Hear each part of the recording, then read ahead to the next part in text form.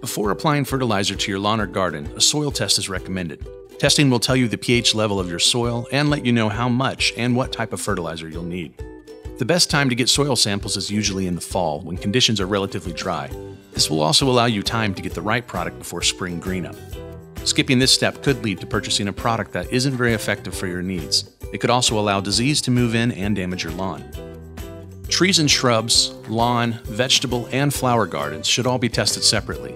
Soils will vary from within the state, your community, and even your yard. Use a soil probe to take separate samples for each area you wish to test.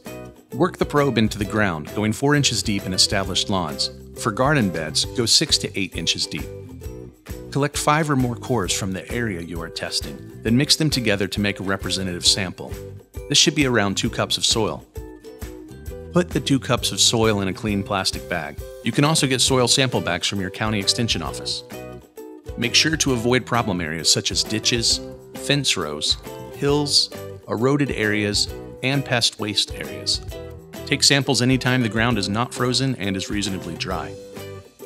You should now take your sample to your local county extension office.